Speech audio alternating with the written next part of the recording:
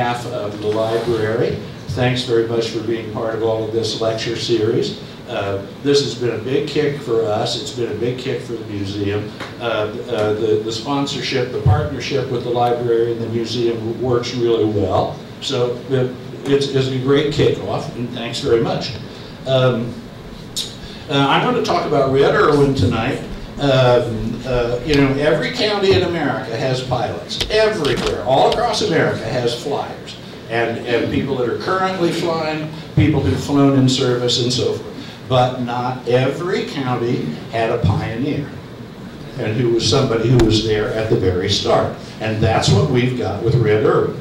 Um, um, uh, Red was a bank customer at the Warner Bank when I started working there. Uh, uh, he was of my parents' generation. He was always perfectly nice to me when I waited on him, but it was only when I got my pilot's license that we really hit it off and we had something in common. Uh, you know, like everybody, he and his wife are living out on the farm in Hallsville. This is family farm. This was Hooterville Airport. They're at the point that he's retired from aviation and, and his health's going down and they really can't live out in the country anymore. And, and he was in the bank one day and, and kind of said, uh, uh, Charlene and I have had a wonderful life at aviation and we've met a lot of wonderful people and, and we just can't live on the farm anymore. And we think you'd really be happy at Hooterville. And so that was kind of the way things got started. So uh, anyway, I moved out there. We got the deal struck and all that kind of stuff. And I moved into Hooterville, and, and Red was just tickled that there's going to be another generation flying there. I mean, he's just, he's just delighted to think that that's going to continue. So he leaves everything. I mean everything. Uh, and, and, now, now, like Nelson Thorpe kind of grew up at an airport with, with all of his family flying. Well, I didn't. And I'm moving to Hooterville thinking, oh, I'm moving into the house and that's that. Won't that be nice? No, I was moving to an airport. and, there were, you know, manuals and photographs and flight gear and aircraft parts and tools and hardware and it was an ongoing airport. Um, uh, so tonight I'm just going to kind of go through the stories that he told me and, and some of the anecdotes that he, he shared with me um, and show you some of the photos and some of the things, a lot of the things that you'll see here around the room. Um, uh, and then I, every now and again I'll throw in whatever information I can about the background. Uh, there are a lot of capable pilots in the room here this evening. Honestly, there are. And so all of you, if I forget something, or if I get the story wrong, jump in and help me, because I, you know, I don't remember all this stuff.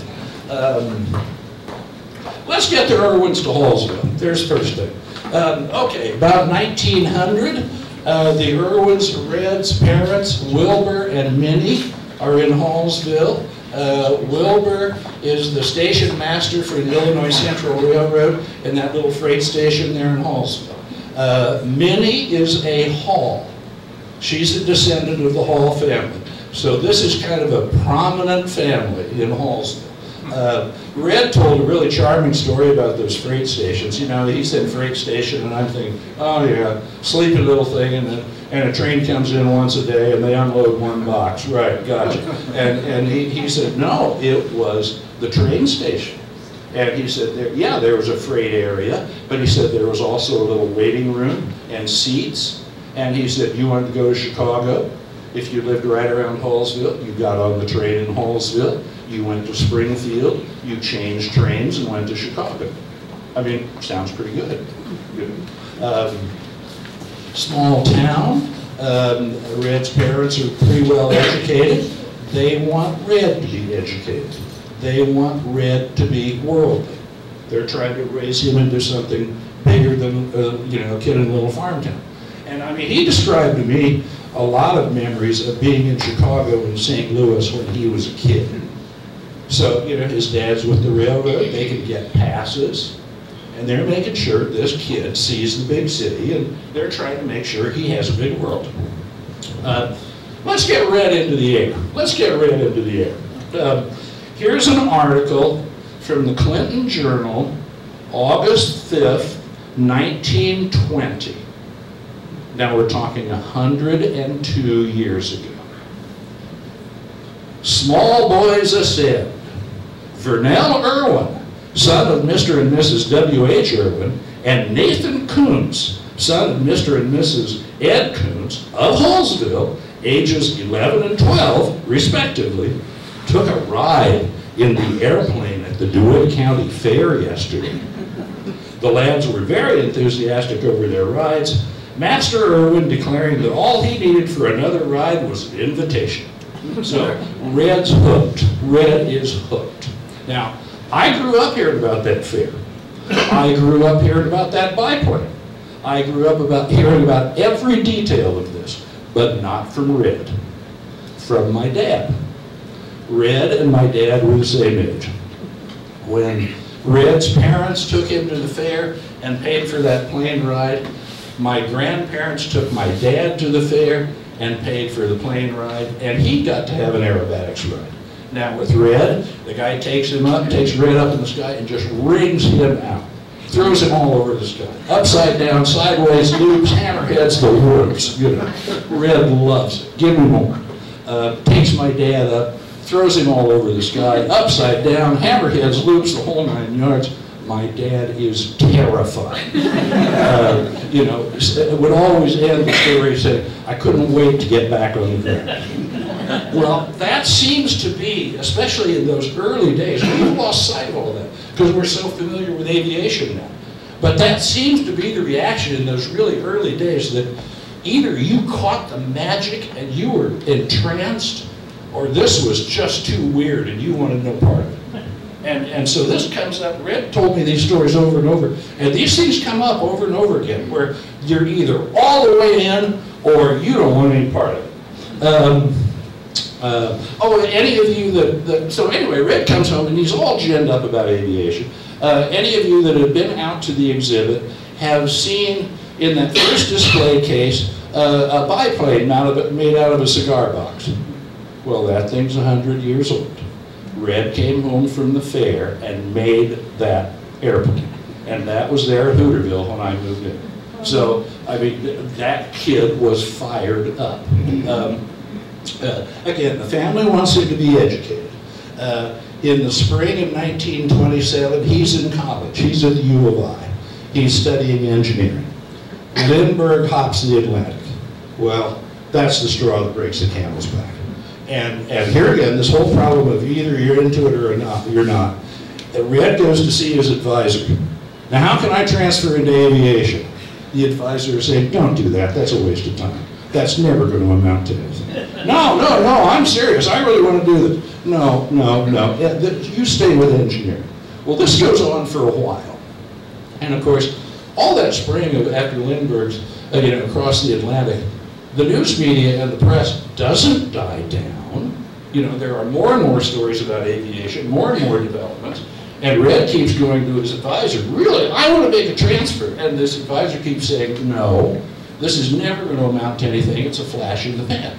Well, with that, Red drops out of school. He must have talked about this with his folks. I mean, they must have known that it was, that it was coming.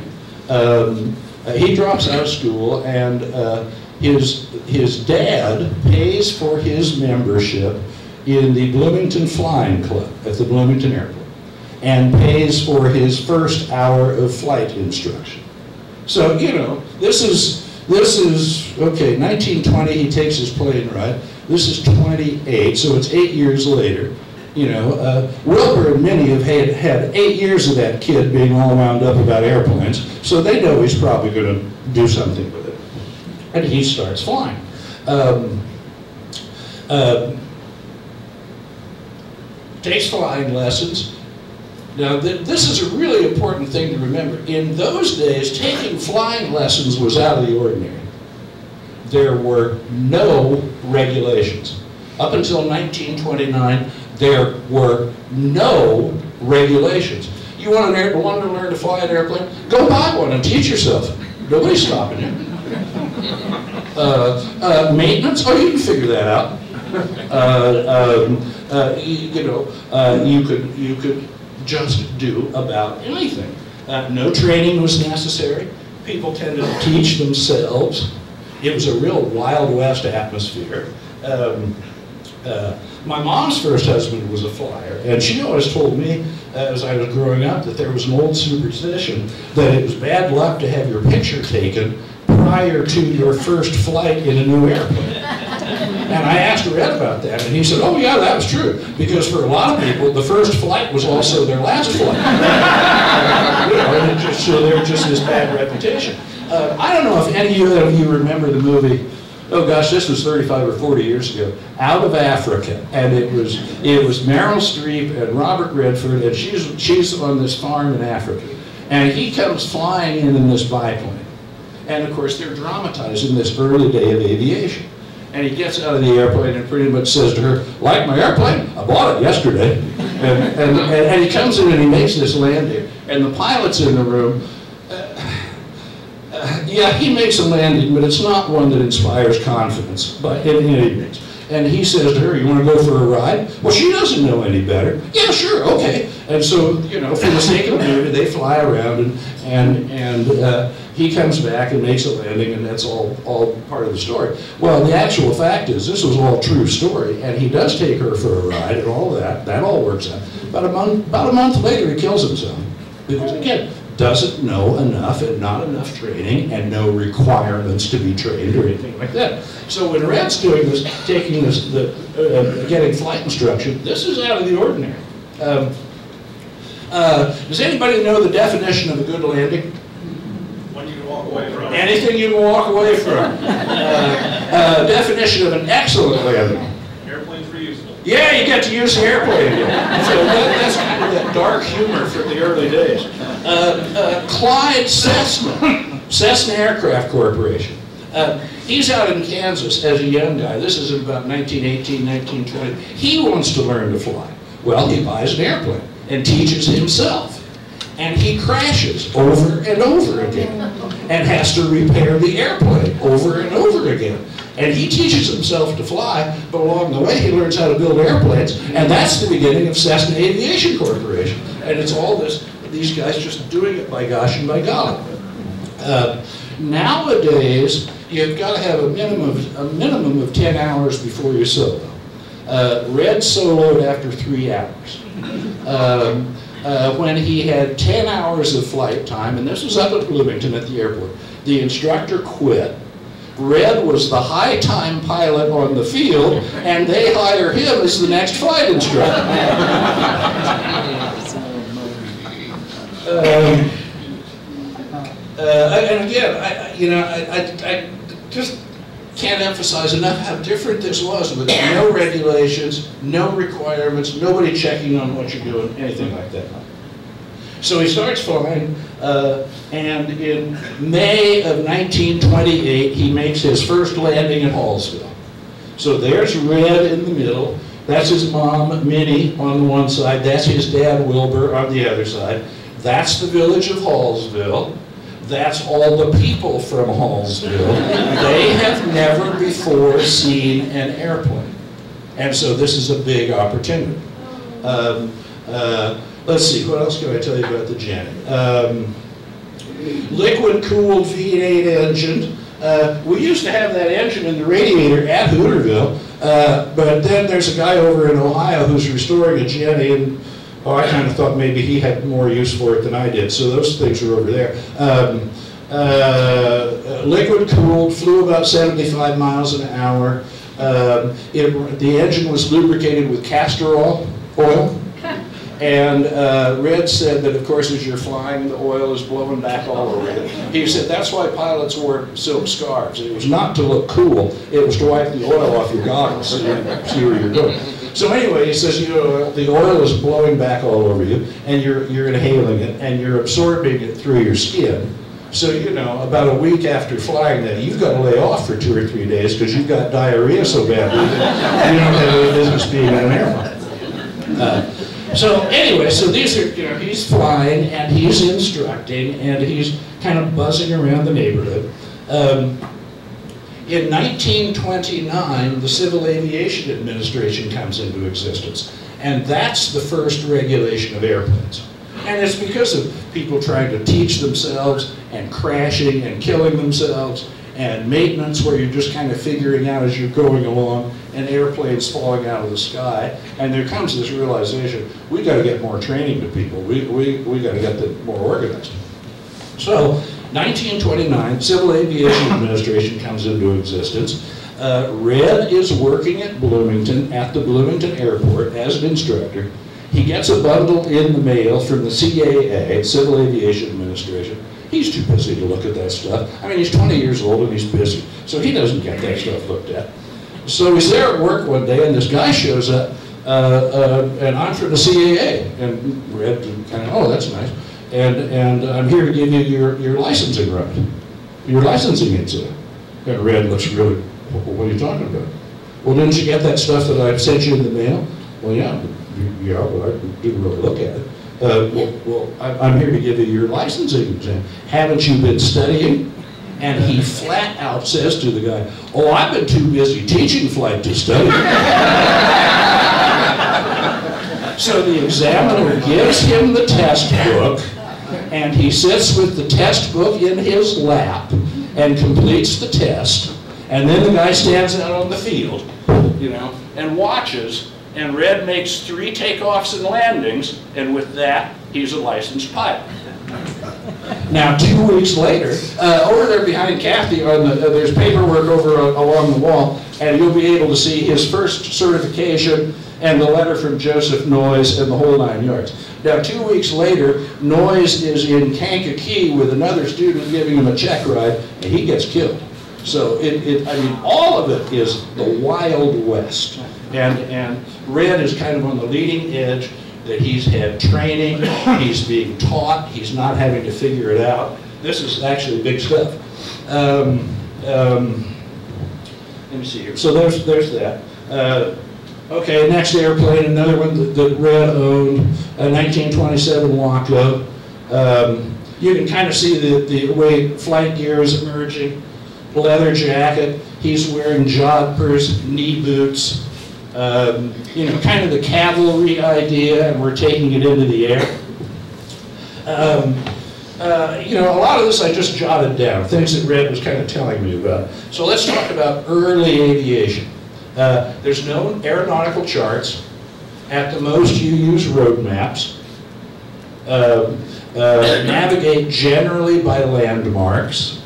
Uh, uh, you know, Red talked about following the iron compass, following railroad tracks, following the concrete compass, following highways, following a blue line, a river, uh, navigating by landmarks. Um, towns in the Midwest put their names on the water towers so that pilots can swoop down and see where they are because there's not enough other physical landmarks. Uh, years ago, there was a, a, gal from Massachusetts who was here in the Midwest, and she was visiting at Hooterville. She was a flight instructor, and uh, visiting at Hooterville when there were a whole lot of pilots there.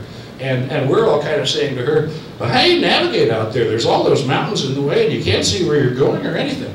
And she's looking at us saying, how do you navigate around here? It's flat as a card table. You don't have anything to go by. I get lost all the time. So it's you know it just depends on what you're used to. And and as I say, in the early days, the towns put their, their names on the water towers.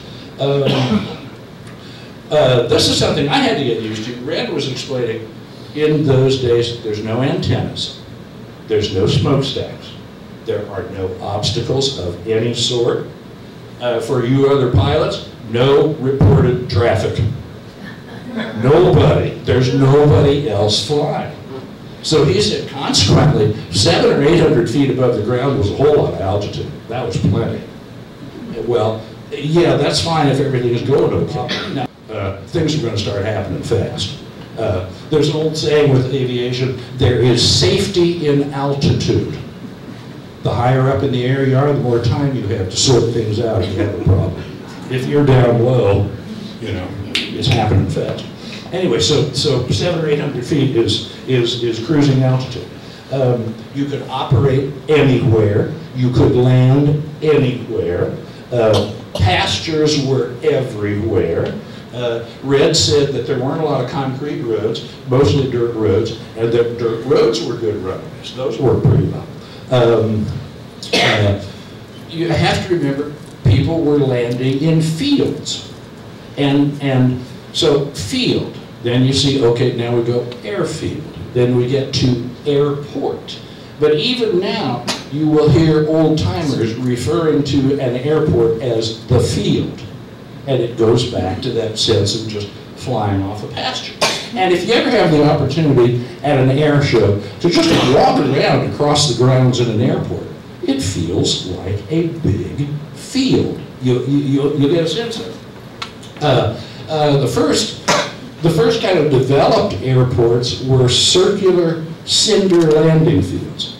Uh, airplanes always take off and land into the wind, and with a circular field, well, just whichever way the wind was blowing, you could just line up and land.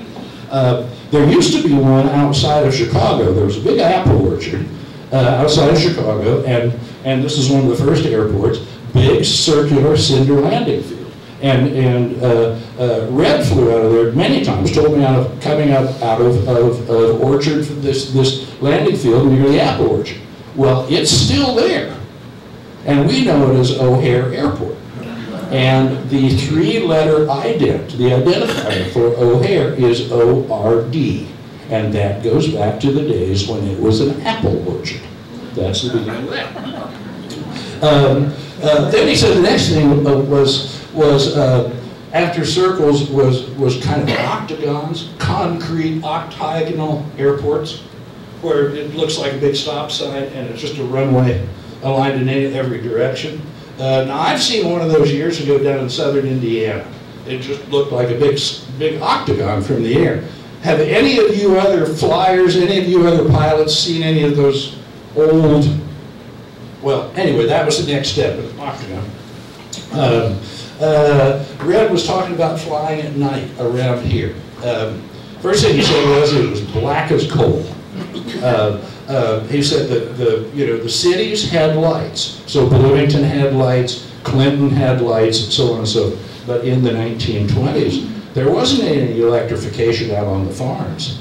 They were still using coal lanterns. So he said you would see clusters of light at the towns, and everything else was black as black could be. Uh, he also said, of course, there's not a lot of highways. And so, and even where there are highways, there's not a lot of nighttime driving. So you just didn't have streams of cars. Uh, he said you did see the headlights from locomotives because there were more freight trains and more passenger trains, and those are things you saw. Uh, uh, I was asking him, well, what'd you do when you wanted to land at home? Oh, well, I'd buzz the house a couple of times, and my dad would come out with the Model A and shine the headlights down the pasture, and then I'd just come in and land. so that was, you know, how that worked. Um, uh, uh, so, okay. Um, here's the next airplane, uh, Travel Air 4000, and I think really this was probably Red's favorite. Uh, this was made by the Travel Air Corporation. That was composed of Walter Beech, Clyde Cessna, and Lloyd Stearman. Now, folks, those are three major names in aviation history. Walter Beech becomes Beechcraft.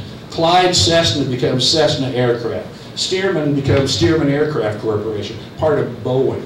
So, I mean, these are, are like the granddaddies of aviation, and they are all business partners developing this, this company. Um, uh, 300 horsepower engine, cruised about 105, climbed about 700 feet per minute, uh, a ceiling of 13,000 feet. Um, now, a lot of the pilots here have been up to 13,000 feet. Um, I've been up to 13,000 feet in an open airplane, and let me tell you, you get up there and look over the side and think, boy, it's a long way down. Uh, you know, it's just, wow, it's way up there. Um, uh, this aircraft survives, and it's down in Mississippi. Um, in fact, I got, in, got in touch with the, the owner many years ago because I was kind of interested in trying to get it back to Hooterville. Uh, it isn't airworthy right now, but it's repairable. And, and the guy that owns it is a rated aircraft mechanic, has his inspection authorization and the whole nine yards, and he acted like he was going to get it back into the air. It sounded like it. And, you know, I wouldn't be surprised. Um, oh, speaking of nighttime and flying, uh, there was a really, there's an early navigation system that was very close to here. Uh, uh, there was a system of lights between St. Louis and Chicago. Um, uh, these were spotlights. Um, They were, they were placed about 15 to 20 miles apart along the route. Um, This was for flying the mail. Uh, There was a- like a light in Lincoln, and then there was a light in Lawndale, and another one, oh gosh, up near Bloomington. And these things are shining straight up. Well, okay, think of a stark black background and these bright lights. Well, it would be like a white dotted line leading you from St. Louis to Chicago. And you just keep those lights off your left wing, you're on the way. And, and so that was an early system, um, and that was known as flying the lights. Uh, Lindbergh had an accident, had to bail out up around Odell. He was hauling the mail. And it was sometime during bad weather, and the lights were obscured, and he'd gotten blown off course, and finally figured, I'm gonna run out of fuel, I gotta get out of this aircraft. But it was, he was flying the lights and got blown off course. Um, uh, The light that was in Lawndale, uh, uh, uh, there was, used to be a mechanic that worked at Hooterville who was, had been friends with the light tender in Lawndale. And when the system went out of of use, uh, Jim got the, the Lawndale light. And we had it at Hooterville for several years and wired it up, and boy, it was bright. Uh, And it's down at Parks Aeronautical College in their museum now. Um, uh, Dead stick landings, dead stick landings. That's when you're flying along and the engine stops while you're aloft and you've got to glide down and land. Uh, and the other pilots can tell, in the room can tell you. Um, boy, when that engine quits, it gets quiet fast. I mean, like right now. Um, oh, there's a great movie. It's, it's old too. Uh, the Spirit of St. Louis with, with Jimmy Stewart, and he's portraying uh, Charles Lindbergh. And there's one scene, he's crossing the Atlantic, um, something happens, the engine stops, he's got cotton in his ears for sound deadening, and the engine stops, and he gets this really surprised look, and then first thing he does is pull the cockpit. He can't believe that he's not hearing that engine run. and, and that's always your reaction. Oh, it's got to be me, it can't be the airplane. Um, uh, anyway, so dead stick landings. Um, one time, Red was flying to Chicago from here, uh, from Hooterville. He left in the late afternoon. He knew that he would get into Chicago after dark, but he landed at night before, so that didn't seem to be a big deal. So he takes off, he's northbound. Now, in these days, there's no weather briefings. You, you don't call the FAA and get a, a report on what's going on. And he's, he can tell that he's fighting a headwind and he's not covering the ground as fast as he thinks he's going to. And that means he's, he may not have enough fuel to get all the way to Chicago without having to stop. So, okay, he's, he figured that out. And it gets darker and it gets darker. Well, that's okay, he was prepared for that. Well, at about Pontiac, it starts getting foggy. And he starts losing visibility. And again, I'm, you know, I'm thinking like a modern pilot. Well, weren't you worried about hitting somebody? No. You know, nobody else is up there. Uh, well, weren't you worried about hitting an antenna? No. Uh, you know, none of that stuff. Uh, so he's flying along and flying along, and he's, as I say, about Pontiac, he runs into fog, and he keeps going, and I'm saying, well, well, then what do you do? Well, he said, I kept going. Well, finally, he said, the fog got so thick he couldn't see the tips of the wings. Right. And, and I'm saying, well, what do you do? And he said, you stay on your altitude, you stay on your heading, and you hope that the weather clears on the other end. And that's it. So he's flying along and just charging along in the clag, can't see anything, and the engine quits. Right. So, so he's, you know, 700 feet in the air, and the engine quits. Well, they, you know, it kind of lays the thing over at a bank and starts, starts a shallow turn, and he's kind of looking out over the side, see if he can see anything. And he gets about halfway around the turn, and it seems like it, there's kind of a glow coming up through the fog. And he keeps his turn, and again, he's got the thing banked over, and he's looking over the side, and he gets about three quarters of the way around, and these lights start to take the shape of an outline of a runway. And he glides down to, through the fog, and the fog clears, and there below him is a lighted runway. And he glides in and lands, and it is midway, and they have just installed these lights, one of the first airports in the state to in- install lights. And Red's a showman. He comes gliding in, dead stick, doesn't make a sound, rolls right up to the fuel depot. The line boy comes out and Red hops out and says, fill her up. And, he would tell you, I did things that, that killed other people. Uh, I had more luck than I, you know, I used up more luck. And that was one of those stories. He said, you know, the good Lord was just looking out for me.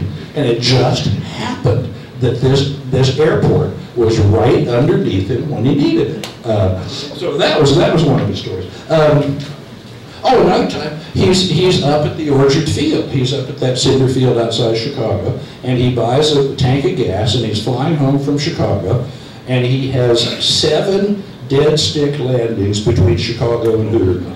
Uh, he, there's water in the gasoline, the gasoline is contaminated, he gets about 20 miles, and the engine quits. And he glides down and lands, and he said, I'd take the bowl off the carburetor and drain the bad fuel out, and then I'd pull the prop through until I got clean gasoline, then I'd get it started again, and then I'd get in the air, and I'd fly for 15 or 20 minutes, and the engine would quit, and I'd glide down and start all over again.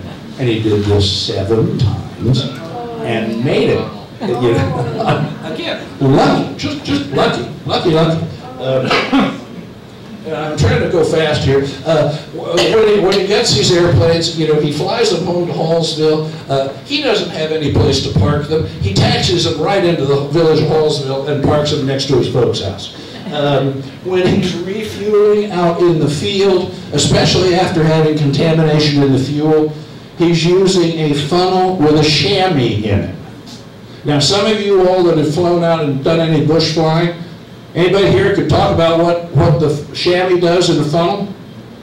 Chick, you have any experience with this? Well, if you put a gasoline engine, keep some of the water out of it. Yeah, the chamois will catch the water.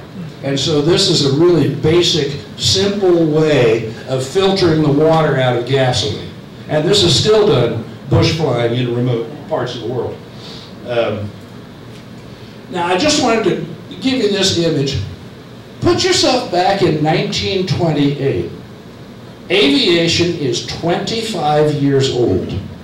You've never done anything like this before.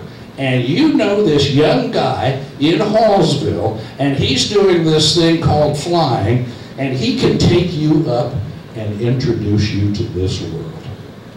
And this is not something any other generation has ever seen or experienced. This is brand new. It must have seemed like magic. It would be like having the space shuttle pull up in your front yard. It must have seemed like magic. Um, you know, the, the giving rides, well, then that turns into stunt flying and barnstorming.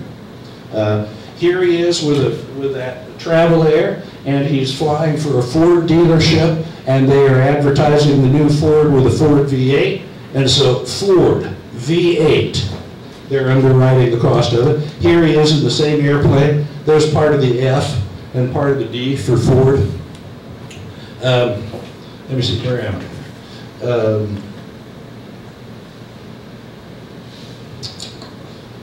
Oh, uh, pranks. I, I talked about this, some of these things in the, in the catalog. Um, you know, a lot of people talked about seeing him flying along above of, of a freight train with his main landing gear resting on the roof of a boxcar. I saw that a lot. Uh, my dad talked about seeing him circling the clock tower on the courthouse on the square and how he got so far into the square he was lower than the rooftops of the buildings around the square. Right. My dad talked about seeing him going down Main Street so low that cars pulled over to get out of his way. I mean, you know, there's, no, there's, there's a reason he had a reputation for being a wildcat. Um, uh, um, uh, oh, he, he bragged to me about making a dummy with a shirt and pants and stuffing him with newspapers and then flying over Clinton and doing a slow roll and letting the dummy fly out. He thought that was one of the best. Uh, now, Now, this one is my personal favorite. Um, uh, You remember I he- I mentioned that he said you could see the locomotives and you could see the headlights of trains? Okay, you're flying at night. You see way out ahead of you, four or five miles, um, a freight train snaking along, coming towards you, and they've got their headlight on. Oh boy, I do this. Um, You drop down to their altitude. You aim right for the locomotive. You turn on your landing. They think another locomotive is coming. Uh, And oh, you can see the sparks flying off the wheels. The engineer waving into the brakes, trying to stop. And then just at the last minute, you turn out the landing light and swoop out of the uh, You know, there were people that if they caught him, they would have killed him. Um, uh, uh, Then he gets, uh, okay, let me keep going here. Um, Oh, this is, another important thing to, to realize. Um, Aviators, we've lost sight of this, but aviators in those days were absolute rock stars. Uh, uh, You know, they're introducing the world to this whole other way of seeing and doing things. It's this new technology. It's, it's, it's unique, it's special. These guys were just cool, and in a way that we've lost sight of. Uh, uh, You know, you can think of those girls as aviation groupies. You know, uh, lots of stories of young women eloping with pilots in those days. The equivalent is running away with a rock star. It, it's, it's something that cool. Um, uh, again, uh, you know, here's the magic that he's introducing to people. And here's what's so charming about all. Uh, just, just as a side, uh, here's Hallsville. This is Hooterville, there's the runway. Uh, when Red's flying into Hallsville, uh, you know, we think of Hooterville as, okay, grass strip right there. Uh, in the early days, you could land anywhere. Sometimes he's landing right here. He talked about landing right by his, his parents' house all the time. Sometimes he lands over here at his uncle's house. Uh, there must have been something good on the north side of town because he talked about landing on the north side village most frequently. So it's, it's all over the place, wherever the conditions are right. Um, um, uh, talking about the celebrity status, uh, Lee Gehlbach, uh, another guy from here in the area, uh, becomes famous as a, a test pilot and a flyer. He and Red are friends. These are photos taken at, at Hooterville. Uh, they, you know, they do all kinds of, of flying together and stunt flying and so forth. Um, I brought this in. Here's this, this ad for Camel cigarettes, and they're featuring Lee Gehlbach. And again, you know, we see this nowadays with branding with celebrities and getting some brand associated with some celebrity. Well, think of the days when aviators were so cool that, that companies wanted to use them in branding and, and so forth. Uh, uh, you know, there's a real celebrity status to all of this. Um, speaking of celebrities, uh, um, knew a lot of them. He knew Charles Lindbergh. Uh, said he was a really good flyer. Um, Jimmy Doolittle said the guy could do everything. An excellent pilot, great business head, great public relations, uh, good in the military, just first rate all the way around. Um, uh, Amelia Earhart, eh, read some- something really interesting about her. Um, said she was a skilled pilot, said she was a surprisingly good-looking woman in a kind of jaunty, uh, sporty kind of way. And he said the media really fell in love with her. And he kind of said she, she got carried away with the publicity when she should have been working on her flying. And it, it sounds like the, one of those early cases of, of, you know, the media making a superstar out of somebody and giving them 15 or 20 minutes of fame and then we move on to the next superstar. And that was kind of his thought about Amelia, that, that the publicity carried her away. Um, he also knew Roscoe Turner. Does that name mean anything to anybody? Roscoe Turner was a, a flamboyant air racer. He ran the air, uh, main airport over in Indianapolis. He had his own kind of custom semi-military uniform and a handlebar mustache and stuff like that. And he had a lion cub named Gilmore. And he promoted the idea that he and Gilmore were flying all the time. Now, maybe some of you remember those old images for Gilmore gasoline, and it's, it's Gilmore, and there's this surging lion.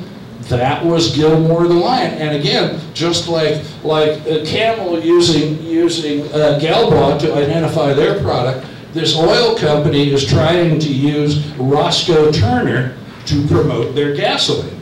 Well, Red knew and uh, you know, you see these pictures of Roscoe with Gilmore, and, and they always have, pictures of him standing in front of the airplane, so it looks like Roscoe rides with it, but you can tell he's not putting a 500 pound lion in the back seat of an airplane, but it sure looks good. Um, um, uh, uh, there's, a, there's an old saying with aviation uh, there are old pilots and there are bold pilots, but there are no old, old pilots. and that's something Red said after all this stunting. He said to me, I decided I wanted to be an old pilot. He's realizing I could get killed doing this stuff. So he goes to the Boeing School of Aeronautics out in California. He gets a master's degree in aviation engineering, and he gets a certificate as a master pilot. So he's, he's, he's getting this education. Um, oh, um, before that, um, uh, Red heard of a Ford Trimotor that was for sale in southern Illinois for $1,200. Uh, and he went into the former Warner Bank and talked to my grandfather about getting a loan. And the Irwins had banked there for years, now Red's probably 20, 21, and he's going in to ask for $1,200. Well, in those days, a brand new Model A cost 400. So he's asking for three times the price of a car. And, and he talks to my grandfather, and as I say, the Irwins had always done business there, so I'd like to borrow some money. So my grandfather's, yeah, okay, okay. And, and I'm thinking $1,200. Well, uh, okay, well, let me think about this and tell me more. Well, and this is going to be for an airplane. And aviation is really going to amount to something. And this is going to be really big. And he said my grandfather tipped his head back and absolutely horse laughed. And said, no, it's not. People are killing yourselves. Nobody's going to want to do this for recreation. They aren't going to travel. No. And so that was that. And, and again, I say that because it's another one of those examples of just either you got it or you didn't get it. Uh, uh, you know, and Red runs into this over and over and over. He gets it with his college advisor. No, this will never amount to anything. You know, he's you know, either you got it or you didn't. Well, anyway, uh, uh, somehow or another, his dad gets the money, and they buy the airplane, and they fly it up from southern Illinois. And again, he doesn't have any place to park it, so he taxied it into Hallsville and parks it next to his parents' house. And so there's, you know, there's this big airplane sitting there. Um, there's a Travel Air that was at the field. There's a, uh, a Monocoupe, that's a, a high-speed racing plane. Uh, Red owned that for a few years. Uh, it's still airworthy. It's down in Texas now. Um, let me keep going here, just real quick. Um, uh, after Boeing School of Aeronautics and so forth, Red goes to work for Eastern Airlines. This is in 1936. Eddie Rickenbacker, the former World War I ace, is president of Eastern Airlines. This is when airmen who came up through the system are running the airlines. And Eddie is a tough son of a bitch. I mean, he's just a hard driving guy. Uh, and, and Red is flying for him. He said in those days, this was early airlines. He said the public was still very uncomfortable about transportation by air, and if it got rainy or overcast, they would cancel their reservations. And he said, I flew the Newark to uh, Chicago to Newark route, and he said, I flew it with an empty aircraft a lot because people would cancel their reservations. But Mr. Rickenbacker said, we are flying the routes. We are demonstrating that the routes are reliable. We're demonstrating that the aircraft are reliable. We're flying the routes. So it was, you know, it was empty, but I flew the routes. Uh, anyway, he, he was telling me, you know, I got into these arguments with Eddie, and, and, and I was arguing about this and that, and Charlene would interrupt and say, oh, he did, he did. I mean, she'd kind of roll his eyes like, oh, this husband of mine, uh, hey, oh, he did. And she'd say, he'd, he'd be in there arguing, and Red's telling me, and I told Eddie, you can't fly these aircraft on this schedule at this maintenance interval. This won't work. You know, all this kind of stuff. And Charlene saying, I'd have to have dinner parties. And, and Red would, would sit next to Mrs. Rickenbacker, and I would sit next to Eddie. And at one point or another during the dinner, I'd say, you know, nobody else will argue with you like Red will. And Eddie, you know, of a- And, but that's because he's the only other guy here who cares as much about this airline as you do. And she said with that, he, yeah, I know, yeah, you're right. I wish you wouldn't point his finger at me like that. You know, and- and Things would kind of get going again for a little while. Well, you all know, uh, you know, if you're, you know, ma- arguing with management is a dead-end job.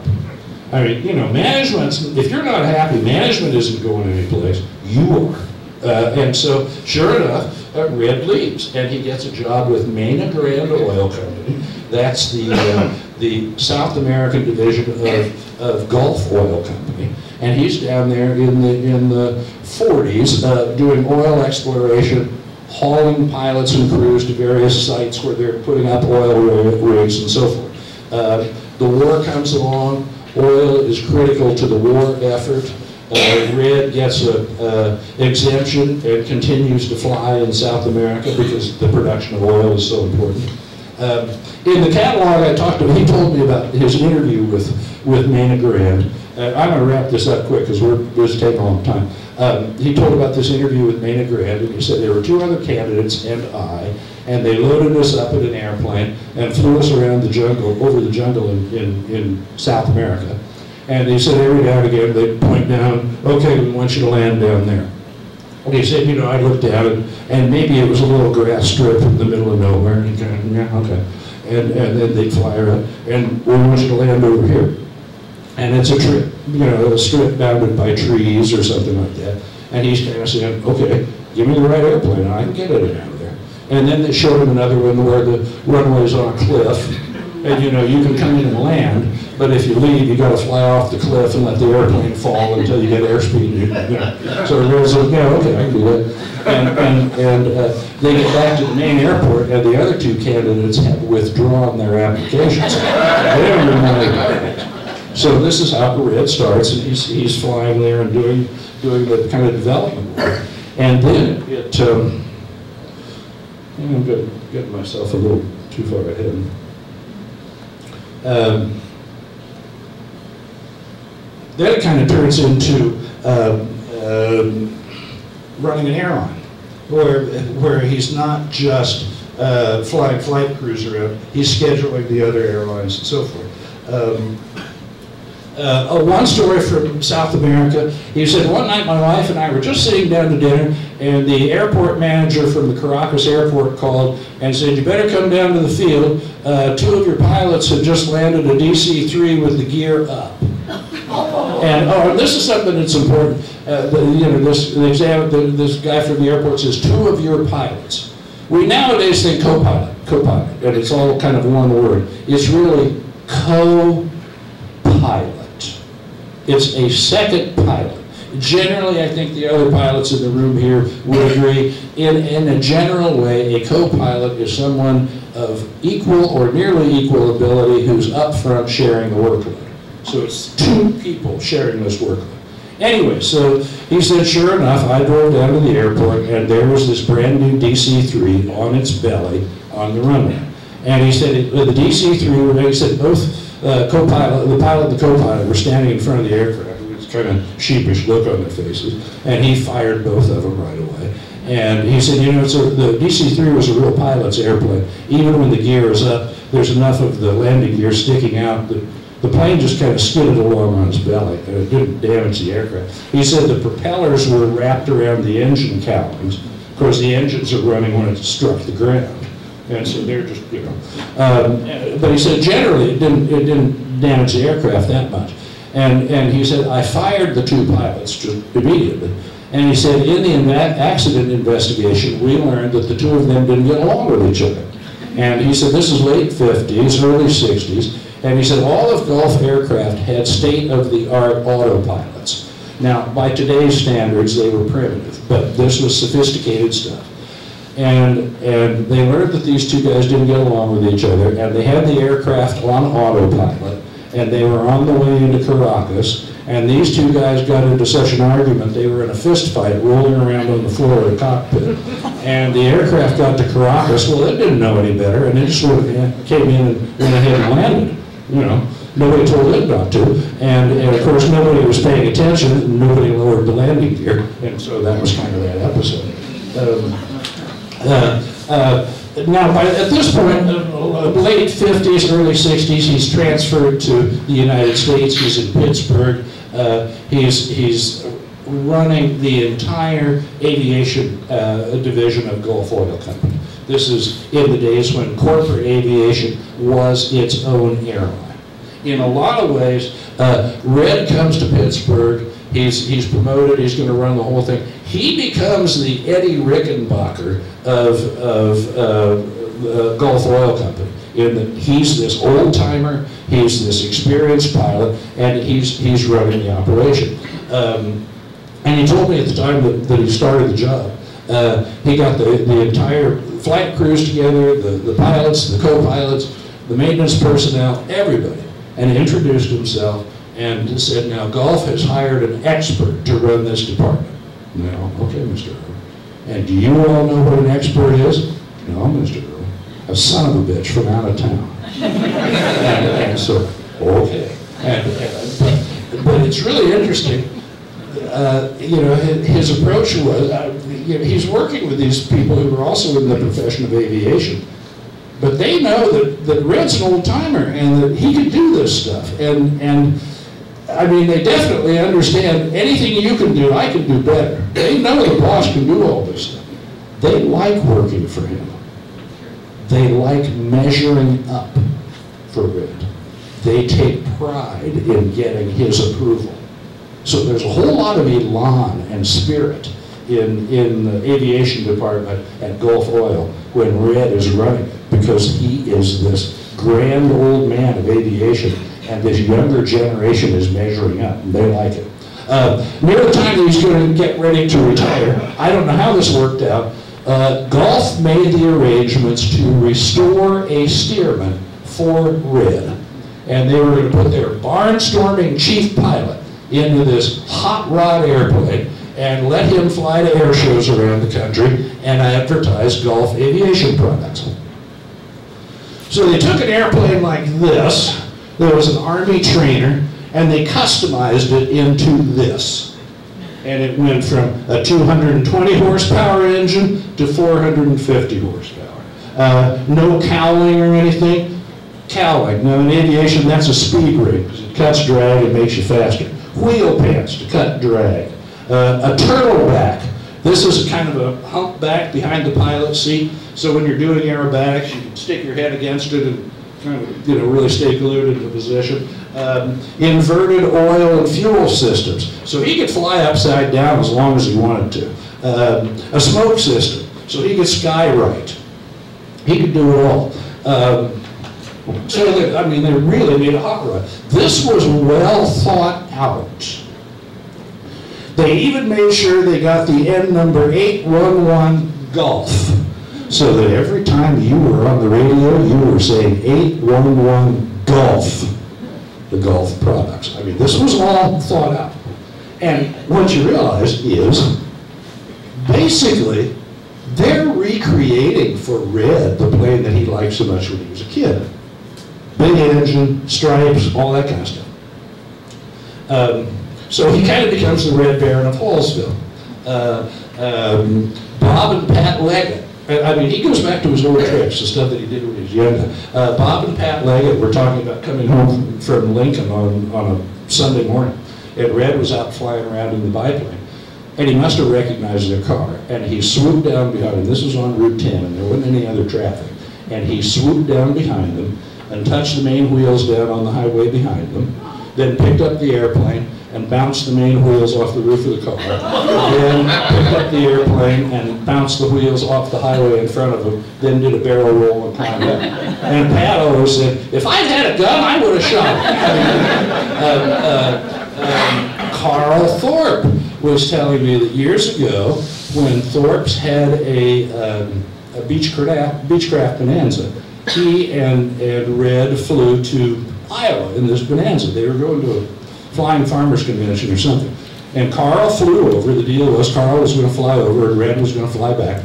Uh, and so they're there at this conference for the day. And by the, the time they leave in the afternoon, it's gotten hot and humid, you know, high density altitude, so the performance has gone way down. And, and at this point, Red's in the left seat, and Carl said there were these two big oak trees down at the departure end of the runway. And he said, it was apparent to me we weren't going to clear the trees. And so he said, we're rolling, and the aircraft breaks ground, and he said, I had no more than turned to Red and said, Red, we're not going to clear these trees. When within a wing's length of the ground, he rolls it to 90 degrees and flies it in between them. so anyway, um, uh, uh, these were, you know, again, back to these old tricks. Um, uh, what he found out was that, that the world was different and the FAA didn't like that stuff anymore. And in the last few years, he was in trouble with the FAA a lot for all of his stunts and all of his foolishness. Uh, I've gone way too long here and I apologize. Uh, thank you all very much. Uh, Nelson, could you talk about for a minute or two when, when um, uh, Red put on impromptu air shows at Thorpe Seed Company? Well, my dad would talk me into. Last day that you were detached on the property company, dad would give you a ride, said he could it all. But This time, he came over and got red, and they came over with about a hundred kids standing in the yard. They wouldn't, wouldn't let him go home. Here come this big red Stearman, he did a full acrobatic show for those kids. They clapped and got in their cars and went home. Uh, As I say, you know, people can tell all kinds of stories, I saw this happen, that happened. Generally, it's all true. Uh, uh, And as, the whole point here is, we're really lucky. Uh, As I said at the start, every county has flyers, every county has flyers. But not everybody has a, has a, a guy like this who went all the way back to the beginning. So, thank you all very much, and it's really been a pleasure having you.